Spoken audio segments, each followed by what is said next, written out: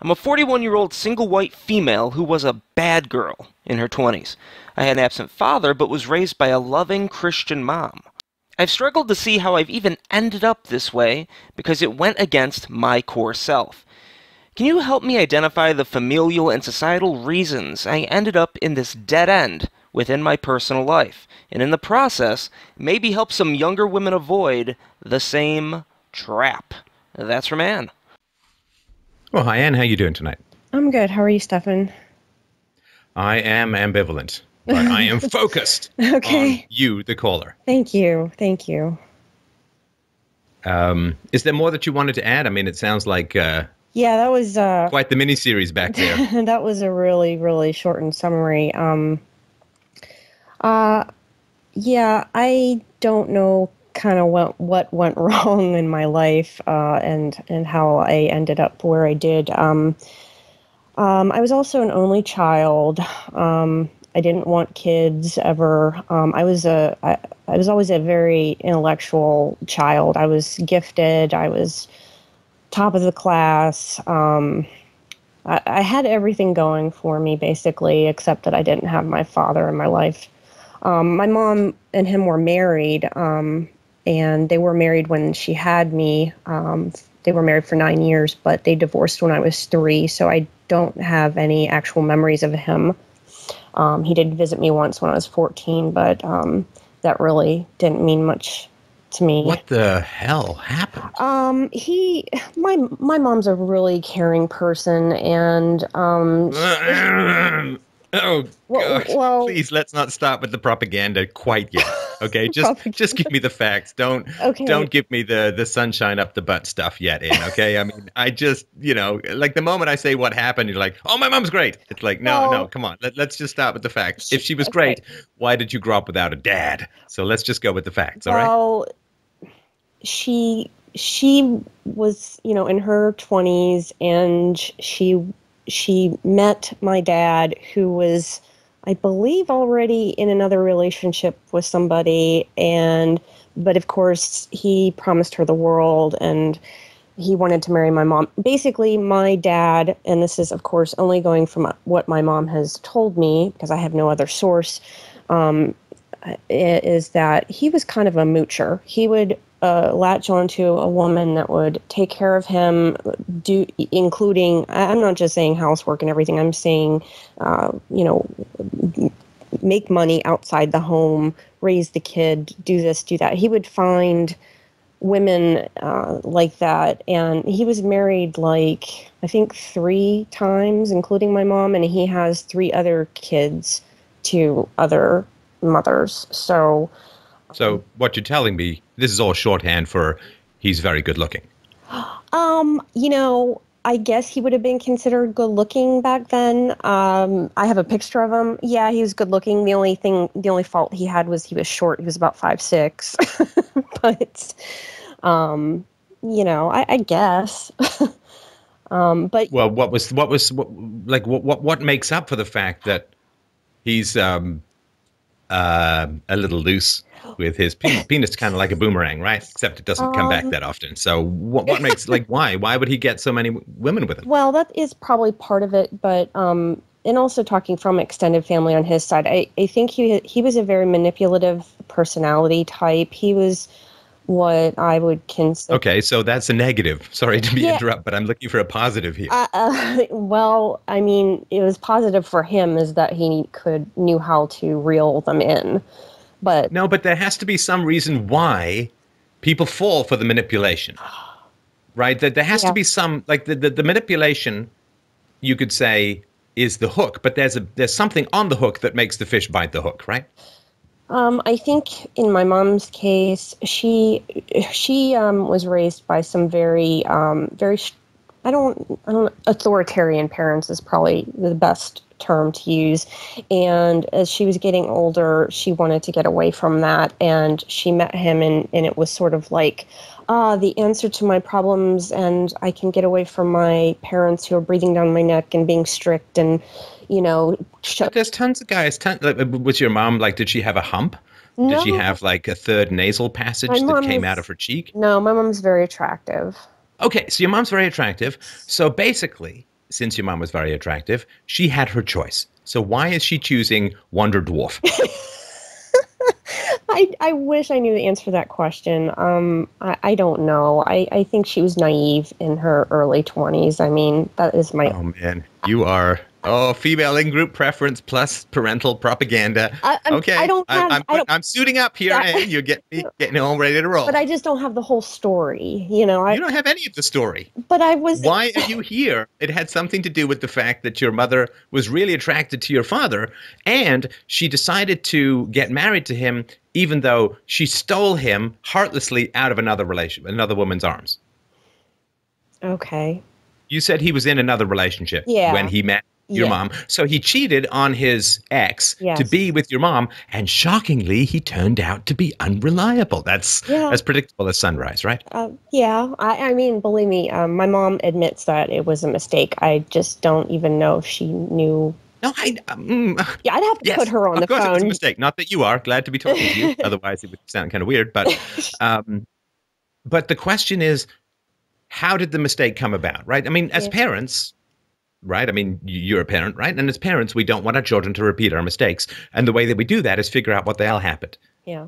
And you don't have a clue, which means that your mother has either your mother doesn't have a clue, or she has a clue but hasn't told you. Well, it, it's possible. Yeah. Because you, you don't want to end up being taken in. I guess maybe you were. We'll get to that in a sec. yeah. But the question is, how did your mother end up with a truly, and I, I hate to put it this bluntly, but a truly shitty father for her children? I mean, that's terrible. Uh, I know. Hung around for a couple of years and then didn't even orbit. Like he went deep space, right? He went interstellar. He was gone, baby gone. That is a shitty father for your children. So the question is, how did your mother end up with such a shitty father for her children? Um, only she could answer that. I, I you know. No, you've known her for years. I- you I you must have some clue. I, I, mean, I really truly think it, it was part. I mean, I know you're going to say I'm apologizing for her, but I feel she was naive. She was taken in by his uh, charismatic personality, his looks. I'm, I'm sure that had part to do with it, and her desire to get away from my grandparents and be on her own away from their authoritarianness. And she couldn't achieve any independence without clinging on to a uh, what? A very charming garden gnome. I, I, don't. I don't know what her other options were back then. Moving out, getting a job. There's lots of Well- options for women. You know, it's this year. You know, I mean, No, you're not that old. No, she worked. She she worked. Um, she was working. okay, so she didn't need a guy. No, she didn't need one. She must have had an emotional void. And okay, this gives me sort of an idea um, because I would say her dad, my grandfather, he was a very stoic personality. He was not warm and fuzzy. Um, he might not have given her that um, male um, uh, role model or companionship she desired, and and maybe it was she was just desperate for that. He that's just the way he was. Okay, but let's say that that this sounds like a real shot in the dark because it just sounds like a guy to me. But even if this was the case, Anne, and the reason because we need to figure this stuff out to some degree if we're going to get to to you and your youth, right? Yeah. I mean, in my opinion. Yeah. But even if we accept all that that's true, that she had a desperate longing for male companionship, well, hello, that's why there are people in the world. We all have a desperate longing for romantic love, uh, uh, hopefully with people whose uh, parts fit together like two complementary pieces of a jigsaw puzzle, making a new jigsaw puzzle. But the, the, the fact that she had a strong urge to be with a man, all right, mm-hmm. fine. But the question is, why that man? Were there no men around who were not already in a relationship? I, I, I know I, I get what you're saying and I, I don't know the answer to that because I only really ever asked her like you know what my dad was like I never asked her well why didn't you pick somebody else or wasn't there other My question is, why hasn't she told you? I don't know Why didn't she tell you? You know, look, obviously nobody wants, no, no parent wants to look at the kid and say, well, I chose a really bad dad for you, and I'm really sorry about that, and here's what happened. But well she admits that I mean she said you know she admits that, yeah, but that- doesn't help you know what triggered it, or what the cause was, or what the susceptibility was. right no I, I don't know her psych, psych, psycholo- psychology about this I don't Well, I, uh, I'll just hold on. You give her a call, and uh, we'll just wait here. Okay, you so Wait, we'll patch her in. Do I- we have her number? I'm um, just kidding. I, do you, Well, I would do it, but I mean, if you if you want me for- to pause and go talk to her and come back, I will ask her a specific question. is she there now? Um, yeah, I actually live with her, but I don't Ah. I don't want her in on the conversation because this is the rest of it is too personal for me. Okay, all right. Well, um, I tell you what. Let's let's uh, get you back uh, after you've had the conversation, but let's continue on with what we're talking about now. Okay. But this is important. I mean, Okay. this is important because, um, and I just say this to parents as a whole: you need to teach your kids what you did wrong, so they don't repeat the mistakes. Because Right. you are now, um, A mess. right. And are you a mess because you chose the wrong guys?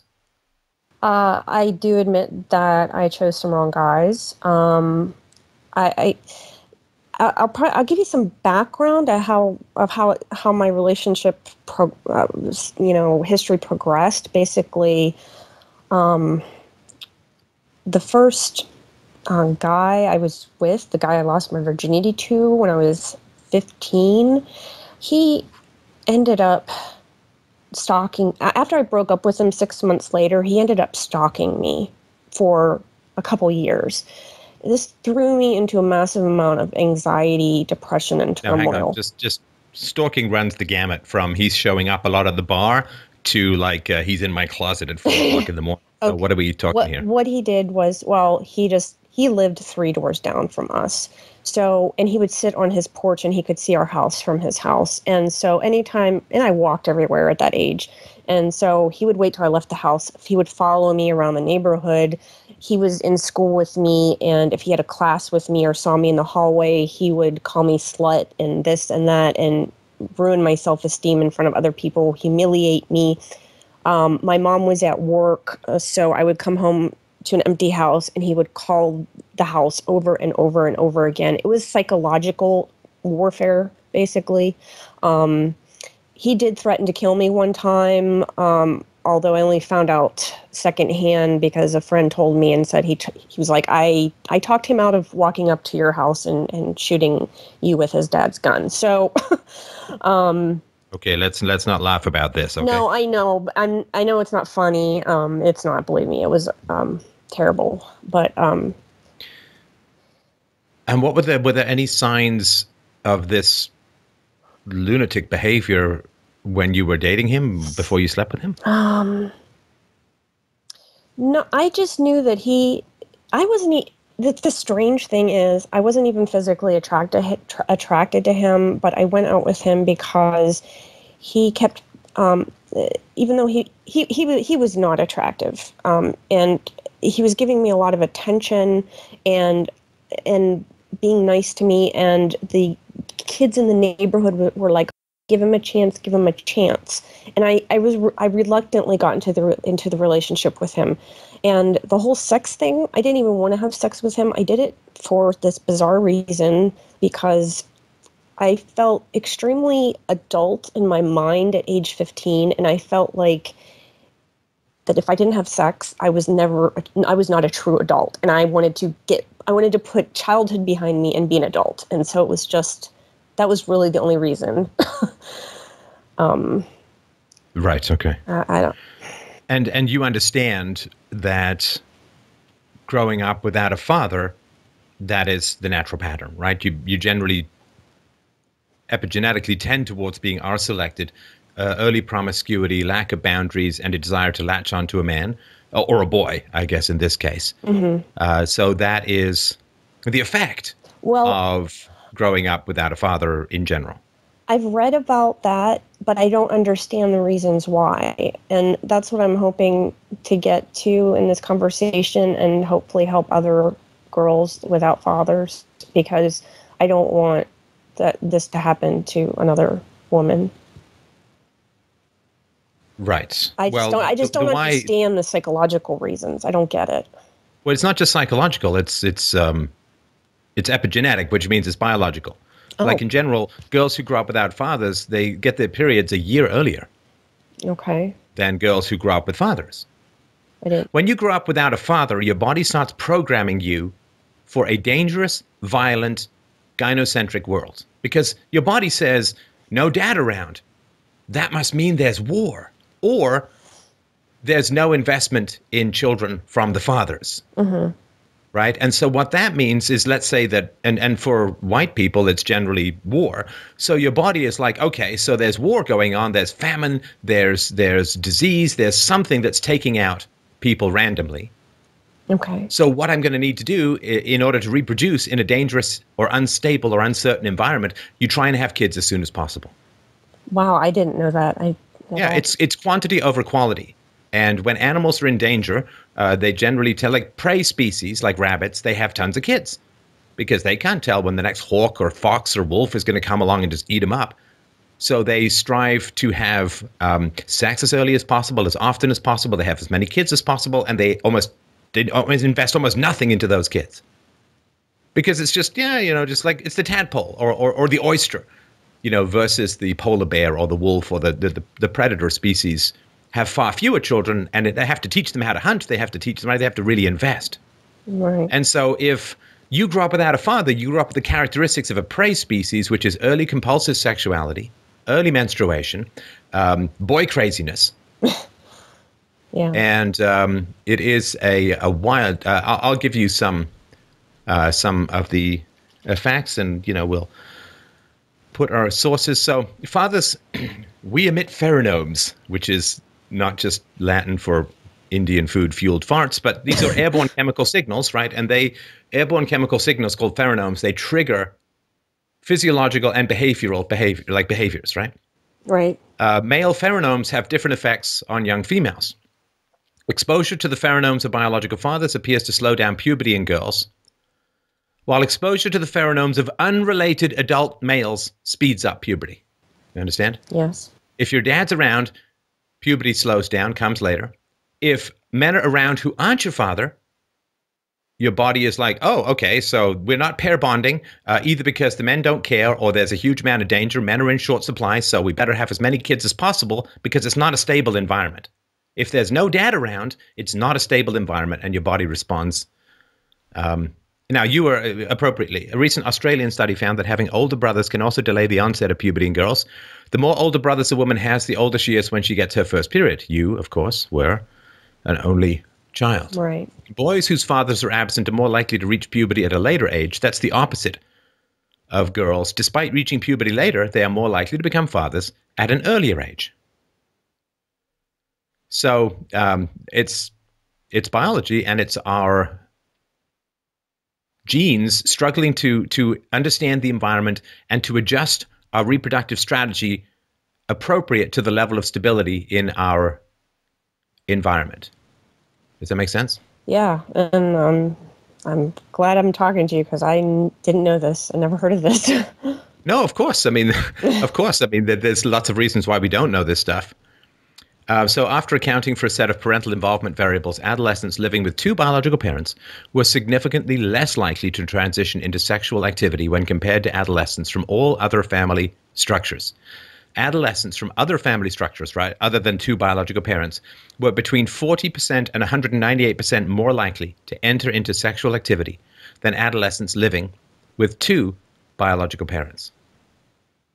Now, um, we'll get to this crazy uh, boy in a sec. okay. For um, for adolescent females, each year spent in a single parent household from birth to 11 years old increased the likelihood they would engage in sexual intercourse during adolescence by approximately 8%, right? So you were pretty, you said from 3 to 11 years old. So that's eight years times eight, 64%. So you were 64% more likely to engage in sexual adol- uh, intercourse during adolescence because you didn't have a biological father's pheromones. Father absence is an environmental toxin. That doesn't mean you're poisoned, right? I'm just Right, saying right. that it has an effect on your biology. Um, we've got uh, a presentation we'll link to below The Truth About Single Moms. And uh, Paul Raeburn, uh, I did an interview with him. He's got a book called Do Fathers Matter? What Science is Telling Us About the Parent We've Overlooked, right? Mm-hmm. You know that old phrase, a woman needs a man like a fish needs a bicycle. Well, Uh, it's you know usual feminist claptrap and Marxist claptrap. Um, the reality is that you were biologically programmed for what happened. That doesn't mean that there's no choice, no free will. It's not an inevitability, but certainly in the absence of this kind of knowledge, Right. it's even more likely that this is going to go down, right? Right. And unfortunately, Because this is the excuse me, this is the so this is the screwed up thing about single moms and single dads too, if they do this too. If you are raising a child without a father, what you need to do is look up the effects of raising a child without a father, mm-hmm. so that you can teach your children about the risk factors involved in being raised without a father, and the risk factors are enormous yeah. criminality, promiscuity, getting involved with unstable people like this 15 year old stalky lunatic fellow, um, drug addiction, alcoholism, cigarette smoking, wide variety of dysfunctional be- behaviors, antisocial behavior, all of these associated with growing up without a dad. This information has been out for decades. Single moms are not doing the 10 minute Google search to say, huh, no parent, no no daddy around. I wonder what effect that's going to have on the kids. I better find out. Oh no, we're all just concerned about ALAR in apples and BPA in bottles, but we don't ever look up what happens to children without fathers. Right. And I'm sorry that your mother didn't do that. I'm sorry that my mother didn't do that. But these seem to be the facts. Mm-hmm. Well, I think she, you know, she probably thought that her uh, raising me Christian was probably going to counteract some of that. But where she went, Jesus, Jesus, Jesus, don't do pheromones. no, I know. He does incense. He, he'll do. He'll give you some incense, maybe a couple of wafers, but he don't do pheromones. so it does not interfere with, uh, or it does not delay menses. Right, and and also she, sex was always a, a taboo subject, and be, because of her religiousness, uh, it was hard to talk to her about that, and I never wanted. It made me feel very uncomfortable, so I felt like I was on my Wait, own her- there. I'm sorry, her religiousness. Yeah, or, I'm sorry, I'm a little confused because didn't she get divorced? yeah, yeah, she did. Was that not against her religious vows that she swore a solemn oath to love, honor, and obey in sickness and in health, for better or for worse, until death do they part? Well, In a church before the eyes of God? well, you know, everyone Oh, that's inconvenient takes religiosity. it just to what people take it to whatever degree they want. Yeah, I know. Okay, so let's not blame it on religion, okay? Okay. Because people always say this, well, there was this religiosity, you know, like this woman from Mexico talk about what a religious guy uh, this who knocked her up and didn't tell her the condom broke or whatever, right? So uh-huh. let's not blame religion Okay. for this kind of behavior because it clearly was not a consistently applied ethic, to put it mildly. No, and, and I'm I wouldn't I'm not going to blame religion. I'm I'm just trying to think how she might have thought. You tried, I actually consider myself a Christian. Um, and and I, you know, I think that's great. Mm-hmm. In which case, you should not blame God for your mother selectively applying, you know, I- her religious preferences. right? No, I don't, and I think she should have divorced my dad. I don't. I I, I don't think she should have stuck with. And with why him should she have divorced your dad? because he was a jerk. because I No, because, no, that's that's that's why you don't have children with him. I'm not sure why, why after you have children with him you would divorce him for that. Um, you know, if you can put up with a jerk for five years, why not fifty? If you want to have sex with a jerk for five years, why not fifty? Like, what happened? Well, he was he was I mean, number one, he was just plain lazy. Now, I'm going off of her um this is what she's told me, so it's I'm still secondhand knowledge, but um, you know, he he would be this uh, guy that would sleep till noon. He would be quote self-employed as like a Fuller Brush man or Amway. What? Wait, he's a seeker. He's a that? drummer. Anyway, go on. Oh, okay. Yeah, he was like this. Um, uh, he had delusions of grandeur. Okay, and I actually can verify that because he would send me some letters that sounded like they were written by a crazy person. Like he would promise me the world. Um, like I'm going to buy you a Cadillac for your 16th birthday. But I knew that was impossible because he was living four miles away and delivering pizza, or four hours away and delivering pizza. Wait a minute. Hang on, hang on. Oh my god. oh, oh my god. I know. Hang on. I'm sorry. I I, I forgot to put on my crash helmet. Of... okay. My dad lived in South Africa Mhm. and I still saw him every year or two or three. Yeah. Your dad lived. I'm sorry. Could you just remind me? Four hours. How many miles away? A four-hour drive. About a four-hour drive. Yeah. Four-hour drive away. Sorry, I thought you said four miles. Okay, No, four-hour four drive hours, away, sorry, yeah, and you saw him once. correct. That that it, my mom did not. Now we know he had a car, unless he's delivering pizza on camel. I believe he did, yeah, but um, he just didn't care. Yeah. Well, hang on, hang on. Uh, was he paying child support? No, he never paid a dime. Um, and my mom, uh, I think back then the laws were not quite as strict, and uh, Oh no, they were. They've been pretty strict for a while. I know Oh. that from my. mom. I don't know. I was born in '75, but um, but I I'm older than you. okay. Um, I'm not sure. She may not have pursued it, probably thinking that you know she it wouldn't be worth it. And, oh, I think What are we going to live on pizza? Yeah, okay. I don't know. Um, but yeah, he did not pay child support. Um, Did anyone not pick up her pizza, Dad? Can we eat today? Ah. yeah. I, but okay, so so how long did she go out with him before they got married? um, I think they were probably together for at least a year, six months to a year before they got married. Um, and So she may have reeled him out of another relationship and married him within six months.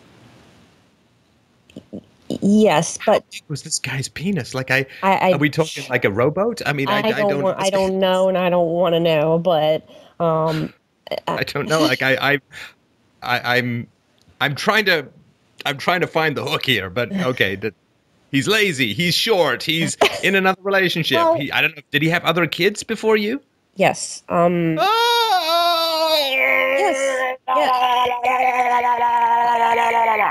hey, this um, you should be talking to my mom Hang on on, hang on. I'm not done. Okay.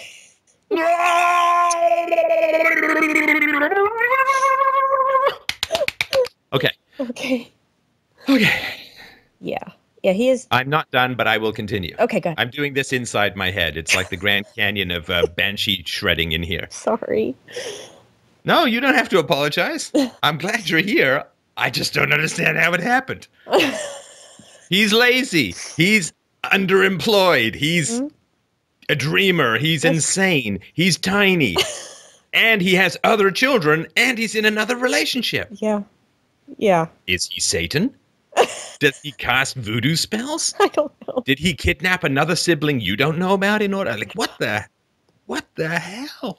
I don't know, but he didn't seem to have a problem getting women being married three times. I don't get it. I I I don't get it.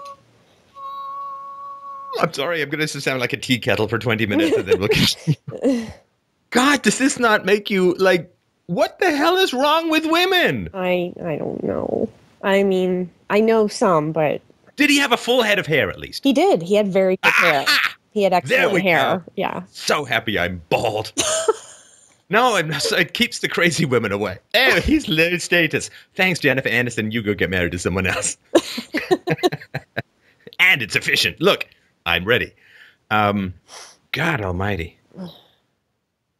Was he? I mean, was he muscly? No, not if he's lazy and sleeping till noon, right? No, I don't think he was. No, he wasn't like Mr. Did he have a mustache? I mean, it was the No. seventies. No, he didn't. He was clean shaven. Wow. Wow. I mean, you couldn't have a more clear set of signals that this guy's a shitty dad, right? Yeah. And he's just like, yeah, let's have some kids. well, I, All these women lining up, lining up. I, I mean, I will say my mom did not have did not have me until she was six years into the marriage. So she she at least delayed it. But um, she did tell she Oh, no, no, you didn't. what? No, you didn't. You didn't just go there, did you? Well, I what are you just feeding me raw meat here? I mean, I thought you were gonna like me, Stefan. I'm sorry. I do like you. I am very happy to be having this conversation. I do like you, and I appreciate you having this conversation. I'm enjoying myself thoroughly Okay. in a nihilistic end of the empire kind of way. All right. Okay. Because you're sort of, are you defending me? Uh, sorry, are you defending your mom by saying something along the lines of, well, she had six years to figure out he was a lazy, good for nothing guy, and then she had a kid. Well, I'm not defending her, but I mean, she did. you are. sh- okay, well, Yes. I can't. hel- Well, in some ways, I can't help it because she is my rock. She's been. She has been the only per- steady parental figure throughout my entire life. I love her. She's done everything she could possibly do for me. I mean, No, no, I'm not taking parental propaganda tonight. okay, okay. Because if she had if she had done everything she possibly could have done for you, would your life have been ended up in a mess? No, but I also have to take personal responsibility. I can't blame it all on Okay. her. Then if you're going to take personal responsibility, how about giving mom some? Okay. All right. No, she's not perfect. I know that. Um, So she knew that this guy was a terrible dad, was going to be a terrible dad. She actually told me she had planned on divorcing divorcing him right before she got pregnant with me. Oh no, did we have another oops, fell on dick situations? I don't think I was well, I don't think I was planned, but I don't think I was unplanned. It was yeah. No, no. Unplanned is planned. Okay. Like, like seriously, like if I'm going to sit there playing Russian roulette Mhm. with a revolver, spin, click, spin, click, spin. Right. Well, it wasn't planned. It wasn't suicide. I mean, it wasn't planned, but it wasn't. Yes, it was planned. Okay. Unprotected sex We know is what planning to have a kid. Yeah, we know what happens. Yeah. There are 17 different methods of birth control, not even counting non vaginal forms of sexuality. So, yeah. So she planned on divorcing this guy and she wanted a kid. And she did tell me also that, um, you know, before she got married, she had thought that one day she, you know, she would marry and have four four kids. Like she wanted a bigger family. So, um, so yeah, that was She wanted, wait, so since, sorry to interrupt, but since she was a kid, she wanted a bigger family? yeah. She said she had always wanted. Yeah, because, you know, if you want a big family, the best guy to do it with is a guy who has no job and sleeps till noon because he's just a fantastic provider. What was she going to do? Cut him up and sell him for parts? Was she going to feed him children, his fingers and toes? I mean, what the hell was the plan? I'd like a lot of kids. Well, that takes a lot of money. Let's go with the unemployed guy who sleeps till noon. I know. I know. Believe I. I What agree. is it doesn't like- make sense. I swear to God. It's okay. So just the other day, I was watching, actually a little while back ago, I was watching an old movie. I don't know if you watched it when you were a kid. It's pretty old school. It's called Old Yeller. I I know of it, but I've never watched it because it would probably make me cry. Well, A, it will. Okay. Uh, and B, you'll get to know what the meaning of the word hydrophobe is, okay. which uh, I think Churchill said that Islam was to a man as hydrophobe, which is rabies, is to a dog. Ah. But this guy goes, it's like, you know, I don't know, 1860s in, in the West. And this guy goes off to do halala, whatever. and the woman is like alone with two children in the middle of nowhere with bears and, and lions and tigers, oh my, for months. And she's great. She's chopping wood. She's taking care of the kids. She's wrestling bacon or whatever the hell they do in the middle of nowhere. and uh, I mean, women, Western women, used to be like these smart, sensible rocks. You know, like I grew up on a steady diet of Enid Blyton books. And uh, in Enid Blyton books, uh, she wrote like 400 books. She basically was a photocopier. And it's true, some of the plots do blend a little. Uh, and I'm reading them again to my daughter. And it's like, wow, these are smart, sensible, solid, salt of the earth women who generally make good decisions and are um, wise. And I don't know what happened. I don't know. Is it the pill plus leftism plus statism plus welfare state? I don't know. But it's like women have gone mental. yeah. And that I I I don't even know if they know it. I can't disagree with you. I really Oh, good. can't. Okay, I'm glad. I- am glad I'm not offending you because No, you're not. Pretty I- true to me. No, I, I, I know, uh, like a lot. Of, of course, I know a lot of women. I have a lot of women friends, and I, I know what some of the faults are that we have. I, I totally agree with you on a lot of, you know, what women do wrong kind of things. So, and, and I know I, I'm guilty as well. So, Well, guilty, I, I don't know about that yet because, I mean, a lot of information has been held, withheld. It's like the entire West just took the accumulated wisdom of 2,000 years and set fire to it and said, yeah, let's just start from scratch blindfolded Yeah. at high speed. yeah, Uh, because, for, for instance, for instance, in the past, if a man has no education, no job, other children, and is not a good father to them, and is currently in a relationship, you don't marry him. This was not mm. brain surgery. This was, Right. you can see these stories going back hundreds, if not thousands of years. This was not, that. that's like in hindsight, you can see that's not a really tough one. It wasn't like, wow, you know, he was a banker, he had an office, a Lamborghini, and a business card, and I phoned him at work. But it turned out it was an elaborate Truman Show style hoax, and the entire planet was made up in the mind of God. Like, I mean, this was not a tough one to figure out whether he'd be a good dad or not, right? No. The only other redeeming quality he had was he was a good singer. Well, that's all right then. Can you sing? Um, I can do karaoke, but not that well. Okay, so even that didn't count. You know, if you ended up like Celine Dion, it'd be like, no. okay, well, he was a he was a dirt bag, but at least right. So, but No, that's not No, that what we're no. Okay. no. all right. Okay, so um, the fifteen-year-old stalker, Right. your limpet mine. What was his family like?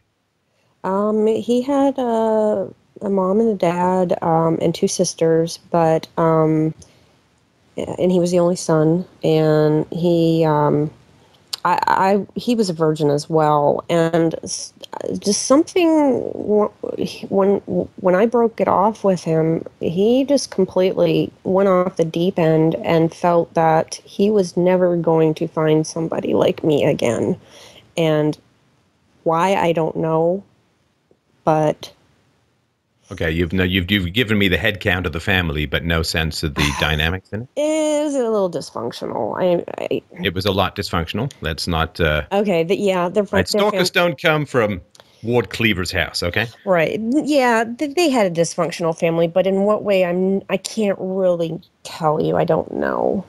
So you lost your virginity to a guy, and you had no idea really what his family life was like. Uh, on only on a surface basis. Yeah, I mean, granted, they let You don't, you don't know what the family life was like. You knew it was No. dysfunctional, but I mean, I'm asking Right. you now, right? 24 years after the fact, Yeah, 26 years after the fact, and you don't know what his family life was like.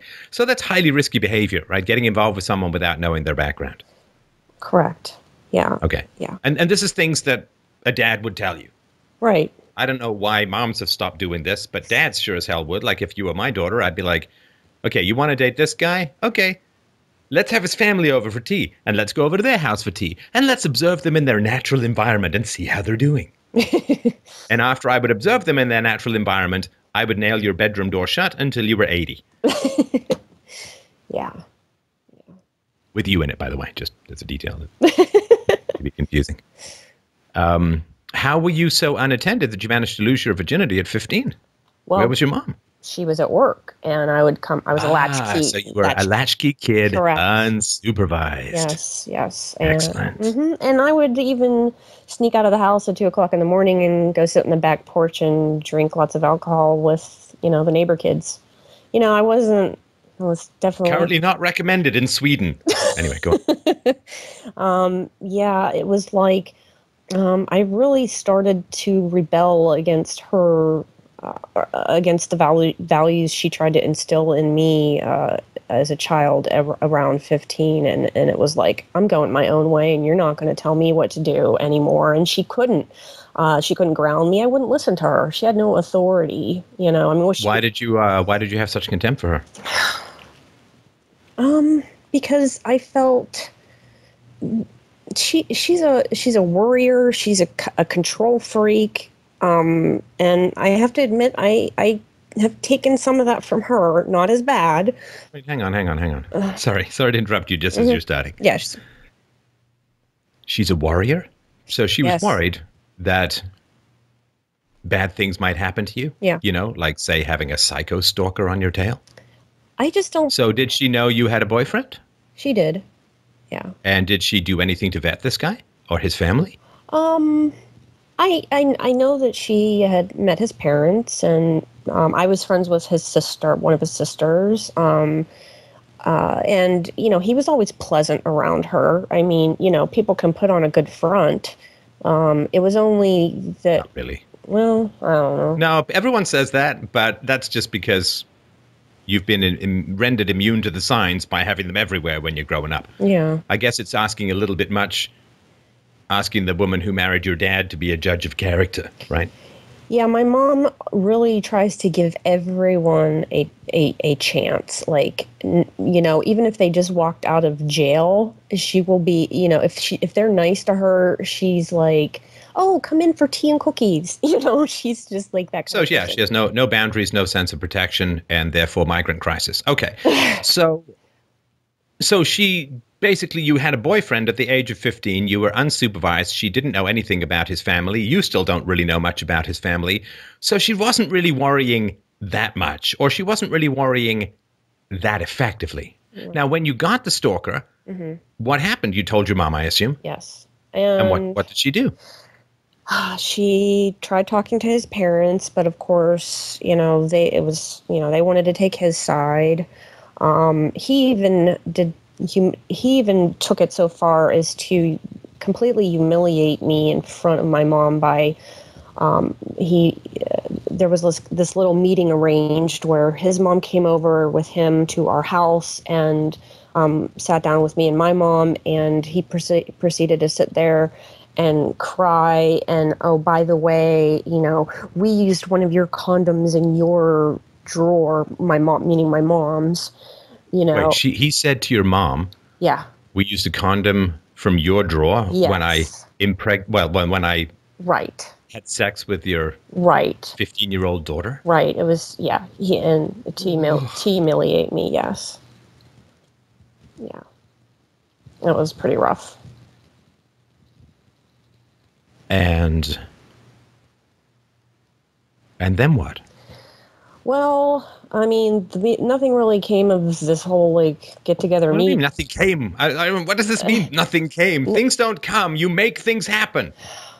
You know, a movie set didn't materialize around me, so I guess you know I uh, you you go for auditions, you make things happen, and it's your job as a parent to protect your kid. And Right. if you've got some psycho stalker, you Well- have to deal with it until it's dealt with, Well- which means you escalate, which means you go to the cops, which means you get a restraining order, which means you move, which means whatever. No, I'm I'm you getting could have to been that. dead, I know. I'm but I'm getting to that. But, but she's your rock. I know. But but Ah! what I'm what Okay, I what I meant to say was nothing came of that little family meeting as far as fixing the stalking problem. It was just like. Okay, how, did your mom do anything to fix the stalking problem? She did. She um she did attempt to call the police, but back back then they like said, you know, there were no stalking laws back then. Uh this was I don't remember the stalking laws then, but they I don't believe they existed. Um and he was under 18, so they, you know, they didn't really care either. Okay, so let's uh, let's say that's all true, and Mike, I'm sure we'll have a quick look up to see whether or not 26 years ago or 25 years ago there was stalking laws, and Okay. so then you move. Well, she had bought a house and she had put all Oh yes, the house. House is very important because otherwise, where will your daughter's body be found? Well, you know, she lived on a secretary salary and she was raising me, and, you know, she didn't, it wasn't something she could just up and abandon. You know, it was like this is where she set up home, and she did.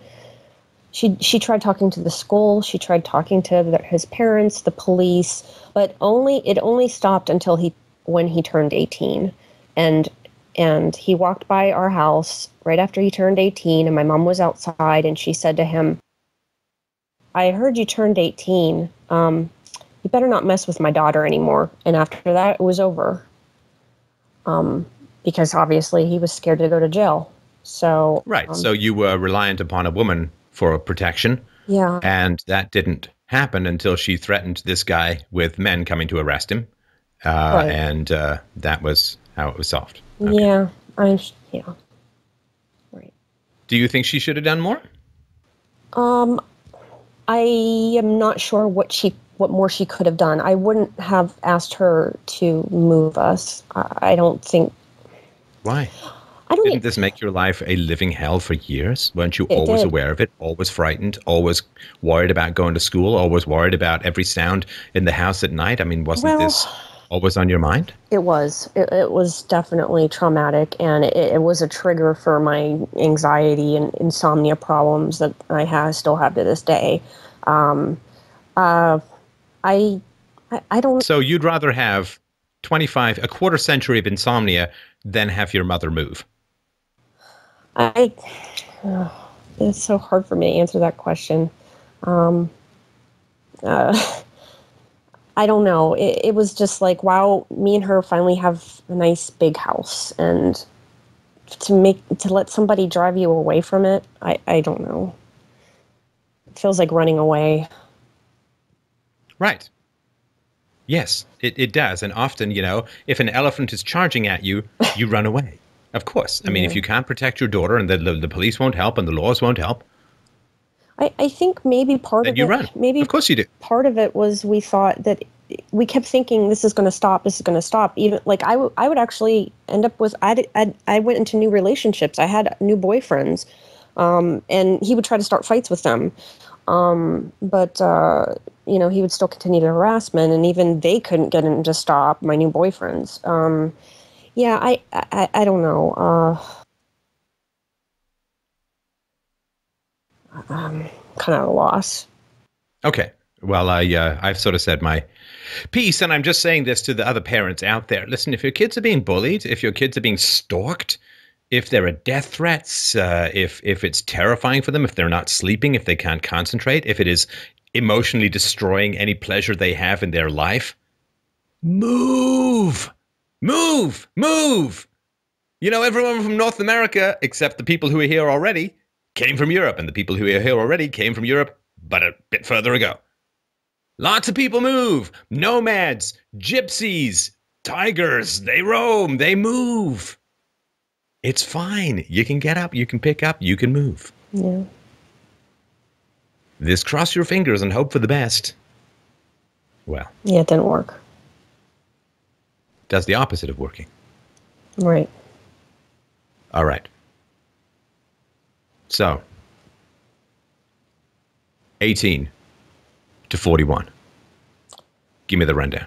Um, well, I, I still had um, some boyfriend, what I would consider normal, you know, adolescent relationships up until I was about uh, 21. Um, now, I, I should tell you that um, when I was 18, um, I got sick with mono, and this um, kind of changed my life because um, I never really fully recovered from it. Um, And that's uh, called the kissing disease, right? I, I had a friend who had that, and it's it's brutal, right? yeah, it was like six months of being unable to move, and it delayed me getting into college. And well, I mean, I eventually did, but um, It is an STD, right? I mean, you don't have to have sex to get it, but if you kiss a lot of people, the odds go up that you'll get it, right? well, I, I mean, I hesitate to call it an STD, but yes, it is mainly transmitted through kissing. Um, and but If you're in a monogamous relationship with someone who doesn't have it, like if you Right. get married or something, then you're not going to get it, right? right, but also you could get it from a family member just by sharing a straw, technically. So I'm not. Yeah, absolutely. And occasionally you can get AIDS from blood transfusions. But What? odds are, right? Well, I don't. I, I I'm not sure. I don't know that much about it. Um, but it it it it, it kind of led to um, chronic health How many, problems. sorry, how many boyfriends did you have? 15 to 20 to 18? 15 to 18 um i would say maybe five um and then what happened And they, they themselves would have had, let's say, an equivalent number, yeah right? So you're swapping spit with 25 people. right right A- and i, I do want to stress that i did not want to have five boyfriends in the span of these years. I wanted a loyal one boyfriend scenario. I wanted that that is what i wanted at that age. But of course nobody warned me when i was when i was younger oh as soon as you sleep with them which you think is required or they won't stay with you as soon as you do that then they're going to leave for somebody else. That was not taught to me. Uh, sorry, as soon as you sleep with them, they're going to leave you?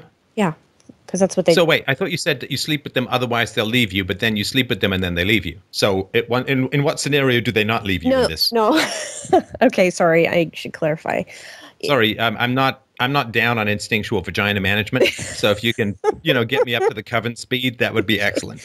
I'm, I'm not I'm not much of a um, clit wrangler, uh, so I just I need to know what the rules are these days. Plus, I'm ancient, you know, for a lot of my audience, so I don't know Oh. what. Why, yeah. Back back then i thought it was my own understanding that if i did not if if I did not end up sleeping with my boyfriend, then he was going to dump me. So I felt obligated at some point.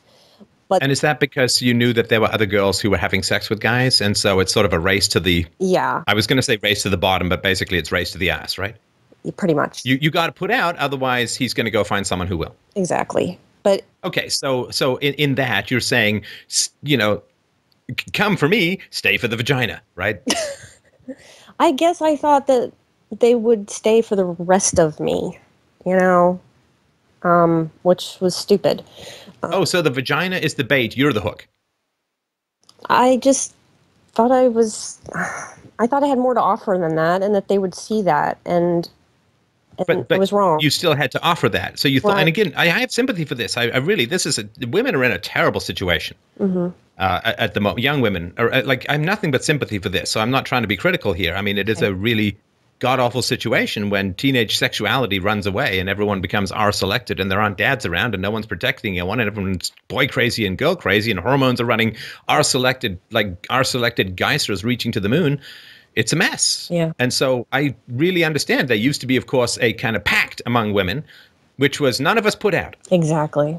None of us put out. And whoever puts out, we're going to shame them into mm. their component atoms. Yep. Because if this wall breaks, if this wall, if this hymen breaks, we're doomed. Because we'll never know ever whether the guy likes us mm-hmm. or just wants to do stuff which allows him to not think about sex for about eight and a half minutes, right?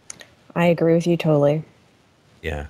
Yeah. Yeah, no, this uh, this is a terrible, a terrible situation, and uh, it's particularly destructive for girls because, um, and we were just talking to a lady who was um, pointing out that the amount of, I think it's um, uh, the amount of happy joy juice hormones that is released by a woman's body during intercourse is so significant that it's uh, it's bonding, like a, a woman bonds.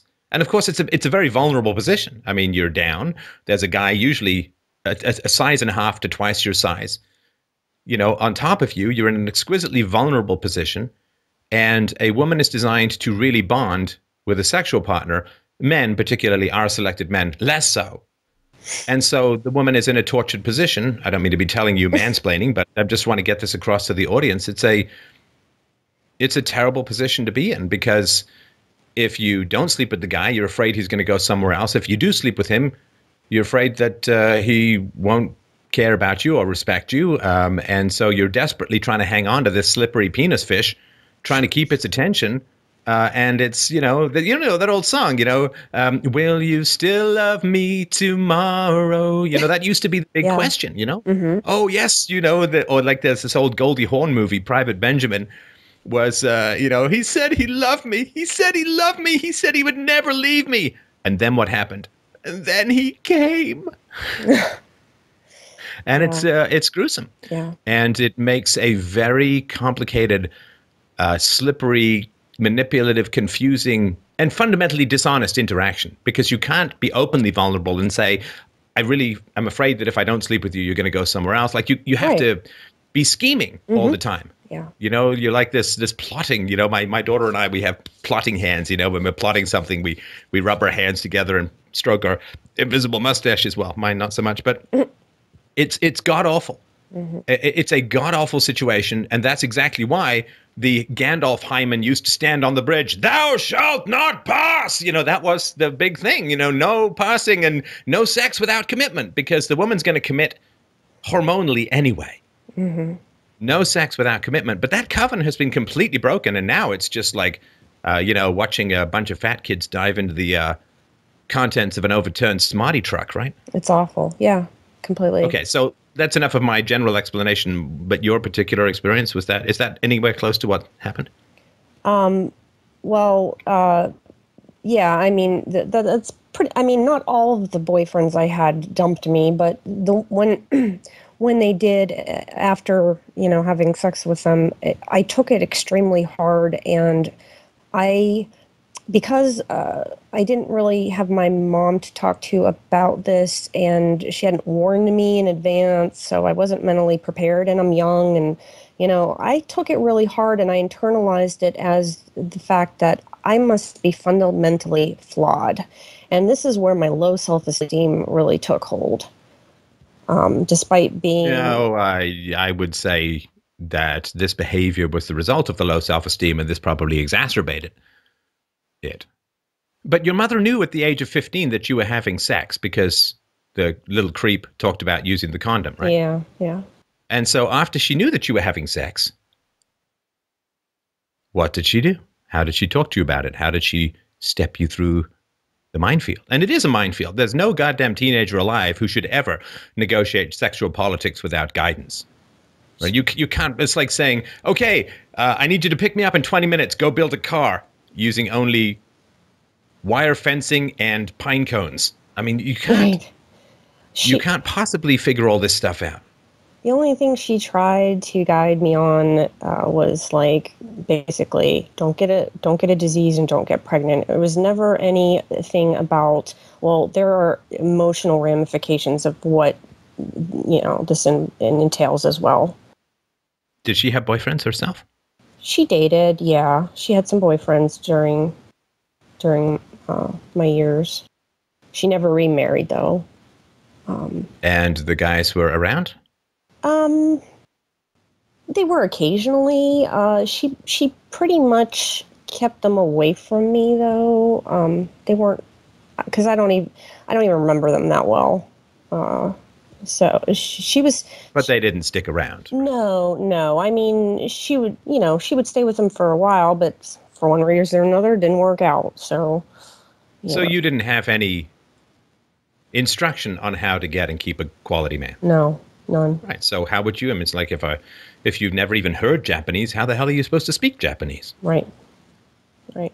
All right. So we left you um, staggering along under six months of mono, which you said has never completely gone away.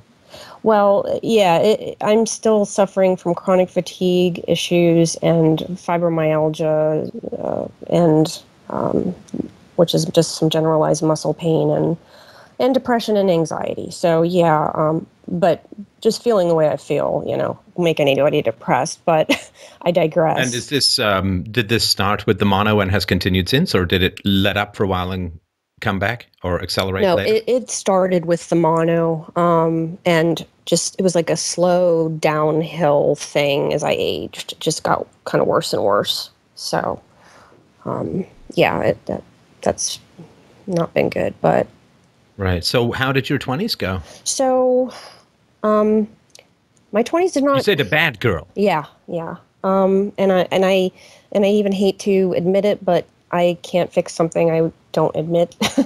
um, back where I lived, uh, I lived in a you know major city and uh, you know cold north, and you know there wasn't much to do except go out and drink.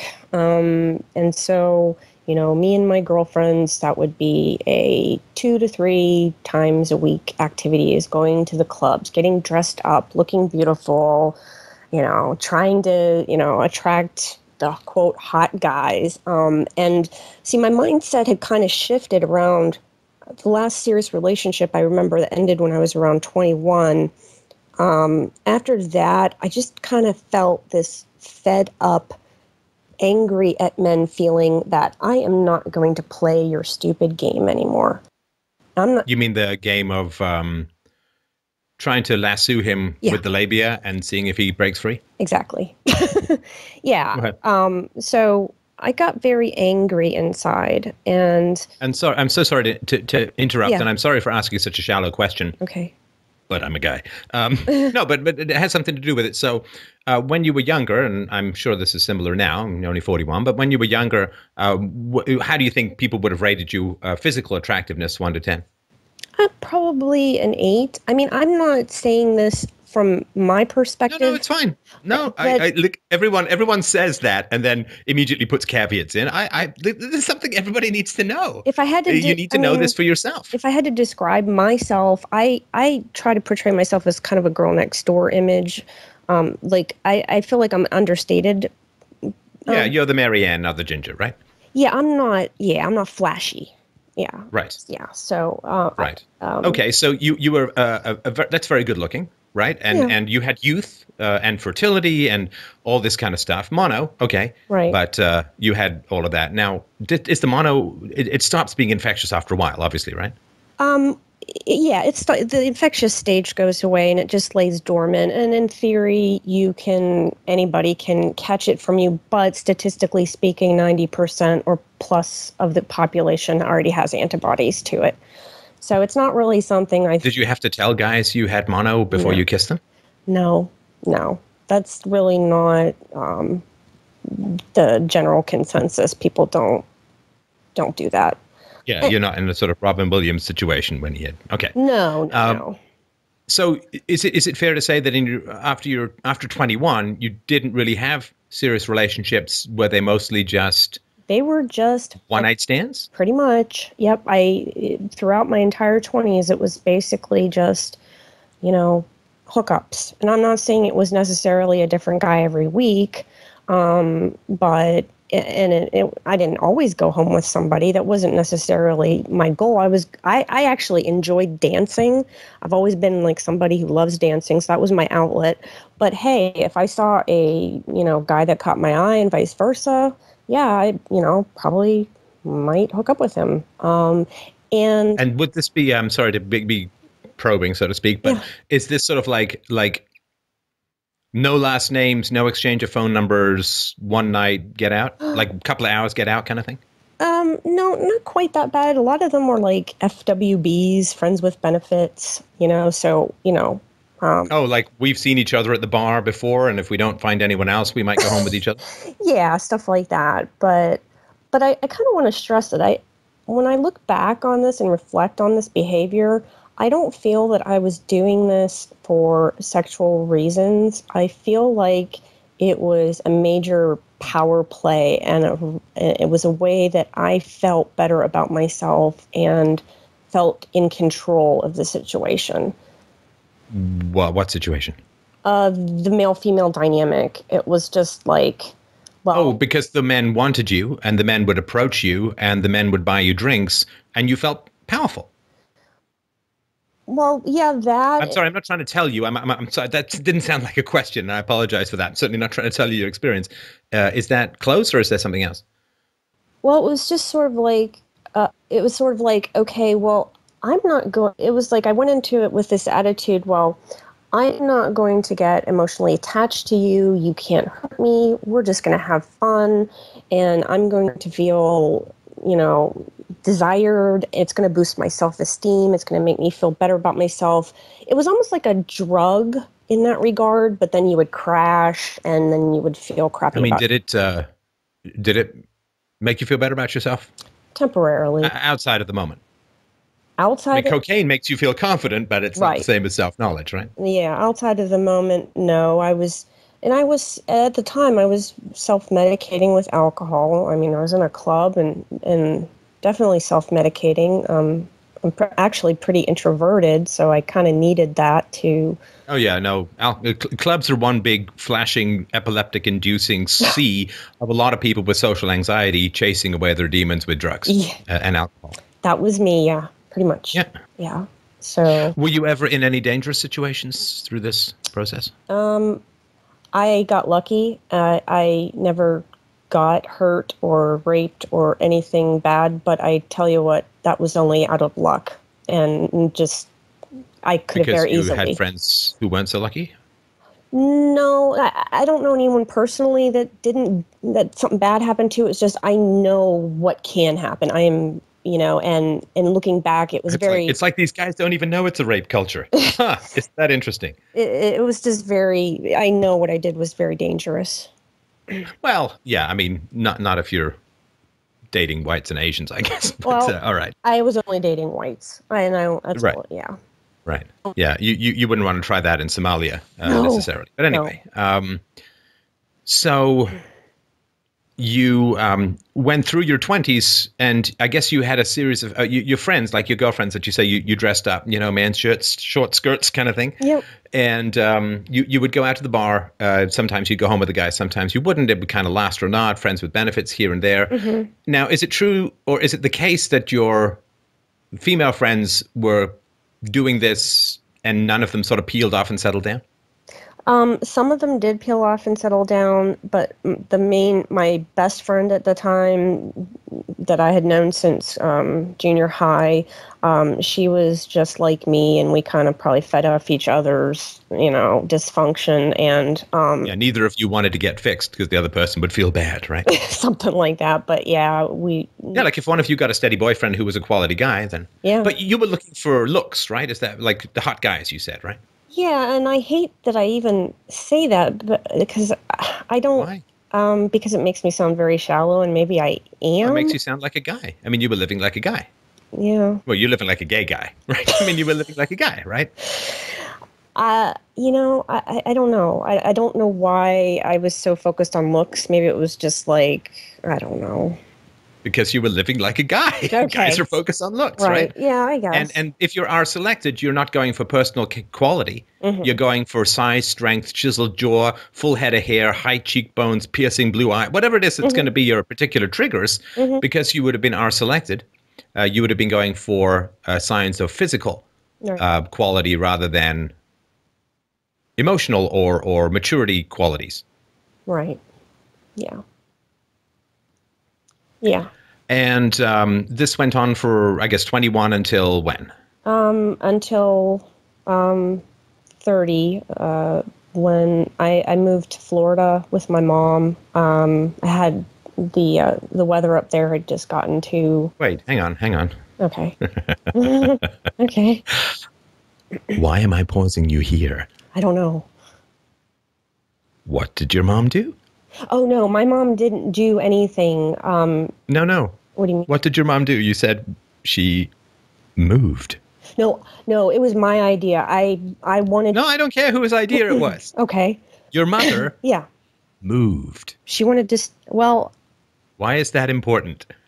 um, because I didn't want to be without her, and vice versa. No, I don't. I don't know. your mother moved. But she, you said she, she well, she was tied into this house and her job, and when I, you know, Oh, her, well, she couldn't move for the stalker, and ah, No, well, I'm sorry, I missed a part in the story where she eventually sold that house after, and I can't. I, I was in my 20s when she sold it. I have not lived with my mom this entire uh, timeline. I've been Right. living the house that, that you had hang on you had to have years of livid terror as a teenager because the house was so important and then she just sold it in your 20s anyway Yeah, well, it, it, it had been. She'd finally, you know, paid it off, and she was going to no, make no money. you're not you're not getting the I point know, I know. I'm not. you're you're studiously avoiding the point in fact, by giving me a bunch of verbal junk right Yeah, so she moved she sold the house and she moved right. She was she was living elsewhere. Right. Yeah. So the house and didn't how matter. old were you when she did that Um, from when she moved out of the house, I was in my. It was between twenty five and thirty. Um, and then okay so eight eight to ten years after this stalking stuff was going down correct, she just moved anyway right. It, Yeah, all right. Yeah. Okay, I'm just I'm just pointing this out. We don't have to pause on it because I just want you to bookmark that and perhaps revisit the, it a na- the neighborhood was going downhill. well, your neighborhood was going down quite a bit with the goddamn stalker. Oh, I know. Yeah, I know. So it really wasn't the neighborhood was crap for you. You were pretty much in prison. yeah, yeah. All right. Anyway, that's just something to bookmark and you know maybe check back with your rock a little bit. But uh, okay, so you hit 30, Yeah. uh, which is also known as the wall. I'm sure you've heard of that. Reproductiveness. Yeah, I mean, Yeah. the 30 is when women sort of go, wait a minute, hang on, what's that? uh oh, dust, dust on the eggs, dust on the eggs. Oh no, oh no, I'm not going to be young forever. I'm not stuck in a timeless capsule of being 20. oh no, I'm getting wrinkles. Is that a gray hair? Oh no, I have middle age spread. I've turned into a muffin. Right? Well, eh, you know what happens? I mean, you you, you take off your bar, bra Yeah. and the boobs flop down like the ears of a cocker spaniel. well, it, it ha- I've been a little bit luckier in that regard. so, but but well, lucky or unlucky, because if you look on on the outside, it don't matter the, the eggs, right? The eggs age doesn't matter how good. Like you, I can Right. change the eggs that are two days past due. I can put them in a new carton. I can get Botox for the outside of the eggs. It don't matter to whether you can eat them or not, right? Right. Well, one interesting thing that that made me reminded me of is my mom had me when she was 30. So she she had me right at that, you know, that wall. All right, so you you hit the wall, and the wall doesn't mean life's over. It just means like, okay, now it might be a good time to panic. Well, but to be honest with you, I never wanted children. Um, and Wow. uh, and I'm probably going to get flack from your listeners for this, but it was just from from from a young age, I never felt like I wanted children, and I think a lot of it had to do with number one, it was just me and my mom. It was a quiet household, not a lot of yell, not a lot of you know voices, chaos around. So I liked peace and calmness. Um, and um, I, from an early age, I was extremely fascinated with animals. I felt maternal towards animals, and I know I've seen your um, listeners bitch about that. Why do women love animals and not people or children? I, I Oh, it's, can't. it's because you get to you get easy ways to bleed off your maternal drives. yeah, uh, I guess. Yeah. I mean, it it, it is that it does. And I, does I love animals too. Don't get me wrong. I mean, Mhm. I love animals as well. But for women, you know, the old cliche of the childless woman with cats. You know, I mean, they yeah. they go crazy because you know we're kind of designed to have children, and if you don't have children, I mean, not everyone has to have children. It's Right. not some sort of divine commandment. But we're all here because somebody chose to have children, Right. and um, uh, pets is uh, yeah, it's just a That's not. to, I know uh, that's not a good enough reason. It was just a personal choice, and to be frank with you, I don't think it would have been a good idea for me to have children because I, I have severe allergies. I wouldn't want to pass these on to anybody. Um, what? I wouldn't. Oh no! Come on, come on. Do you like being alive? I don't want to die, uh, but I- Like, I mean, you're you're talking to me rather than taking an invisible pirate walk off a building, right? So if you can live with your allergies, Yeah. yeah, someone else, and you, you don't. No, no, you don't know. You they may not be heritable. I mean, Well, I did inherit my allergies from my father's side, and there was also a tendency towards depression and anxiety on his side of the Yeah. family. well, maybe, maybe if your mom had helped you, you could have chosen a guy quite the opposite of your dad, Yeah, and then you wouldn't have to worry quite as much about that. right. Uh, but then again, if I had had a kid, I could have screwed up the same way she screwed up. Or, you know, I just, yeah. Maybe it's just the best I ended the cycle here, you know? I don't, I don't, Well, you didn't. You didn't end the cycle. You broke the bike. yeah. Yeah. right ending the cycle is is taking something that's spinning around like tide cutting it loose and taking it away i mean you just Yeah. nuke the whole arena here there's no ending the cycle here there's just Right. ending life it's ending the bloodline Right. right and th- this is very common t- to, be honest right i mean it's like lots of kids fewer kids one kid no kid hmm very few of the people i knew who grew up as single kids are family oriented So that is a trait of only children? in my i haven't studied it but in my Okay. experience Okay. It's like this depressing subtraction, you know. Five, kids, four kids, three kids, two kids, one kids, and we're done. Yeah. Yeah. But um, also, you would have had to, um, you'd have had to stop catching the D, right? You'd have had to give up on sleeping around, Right. right? And and Mhm. clearly, you liked that, and so you used your sexual organs for fun rather than life. Yeah. Yeah.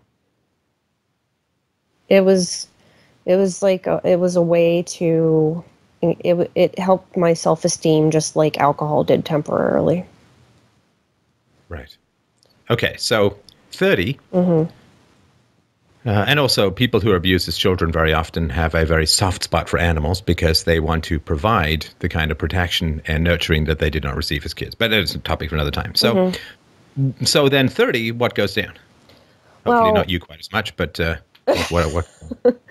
Um, well, uh, I, I, my depression had been become really bad, and, and a lot of it was weather related up there. So I, and I'd always dreamed of living Weather? Sorry. Yeah, weather. related. weather because uh, where I lived, it was like you know, it was like Seattle weather. It's like it's always raining, Oh, cold. I, I'm no expert, but the fact that in your life it was raining alcohol and balls might have had something to do with that. That's the weather that I would look No. to first, rather than just it's raining. I, I know you're gonna you, you won't you'll think I'm making this up, but it really truly was the weather. Ah, seasonal affective disorder, right? Yeah. SAD, some people call it. Okay, Yeah. fine. Yeah, Uh, take was- my snarky comments and, and flush them. But uh, okay, so you got to the sunny climate, you got to the sunny state. Yes. Uh, you ate some oranges, you got some vitamin D. Yeah. Uh, a little bit different from the uh, vitamin D you were getting before.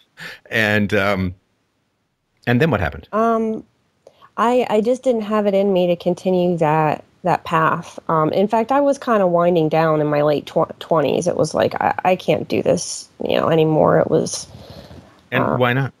um because I I just got the the empty feeling just got worse and worse and worse, and the depression got worse, and it was like, what am I doing? You know, and Yeah, drinking and sleeping around yeah, didn't turn out to be the magic soul healing panacea that you were hoping for, right? correct. So. And um, what about your friends? Were they in the same boat, or were they still happily on the uh, carousel? except for that one close girlfriend, most of them had dropped out of that scene. And So it was getting a little lonely too, right? true, true, yeah. And there were lots of younger models in the showroom, so to speak. I guess. I mean, yeah. I mean, there always are. You know. Couldn't couldn't quite pull the hotties as much anymore, right?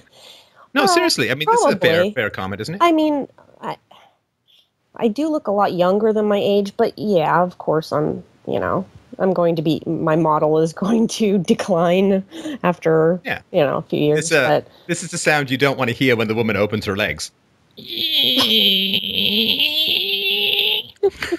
anyway, sorry, can go on. oh god, I'm painting myself in such a beautiful light. But yeah. um, Actually, you're doing fine. I'm I'm I'm doing that. So I apologize for that. But okay, so Um, you, you get to Florida, you feel better with the sunshine, and Yes. then what happens? Um, I, I do uh, attempt to date again, um, and this time I'm trying to, you know, look for somebody that is. I'm not looking for like, you know, someone to have a kid with, just a monogamous relationship. And I, I did have um, about uh, I'd say three uh, in the past ten But, years. but you have no you have no skills in No. the maintenance of a relationship, no, um, right? I mean, you might as well just signed up to repair nuclear power plants, right? I mean, because Yeah. y- you've basically just been sleeping around, Right. and you have no skills on how to have a committed relationship of negotiation and compromise and bills and health and whatever, right? exactly. You know, I complete. I'm completely.